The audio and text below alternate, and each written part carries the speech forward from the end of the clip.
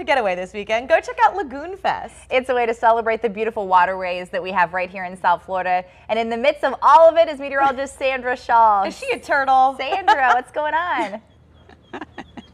Yes, I'm a turtle, and they have seahorses and manatees too. It's going to be so awesome. Lagoon Fest is tomorrow at 9 a.m. until 2 p.m. down here on the lovely waterfront, and it's all about the Lake Worth Lagoon. You're going to learn things, but you're going to learn it in a fun way. It's like hands-on, really family-friendly, and I'm here with Jennifer Baez. And uh, Jennifer, tell us the scoop. I mean, what's going to be going on down here? Uh, we have the third annual Lagoon Fest right here on the West Palm Beach waterfront. It is going to be so much fun. We have an opportunity to cast a line, to cast a fishing line, to get out on the water and kayak, to take a lagoon tour on a water taxi ride. Uh-huh. We just want you to come down and enjoy the area. It's all free. And you've got some animals that I think are be really a hit with the kids from the Busch Wildlife Sanctuary as well. Yes, they're going to be joining us and exhibiting uh, both screech owls and raccoons and possums. These are all rehabilitated local animals that they'll be bringing down to show you. And I mean, you're going to learn a lot about the lagoon. And, and, and in, your, in your words, why is this so important to bring awareness to the Lake Worth Lagoon?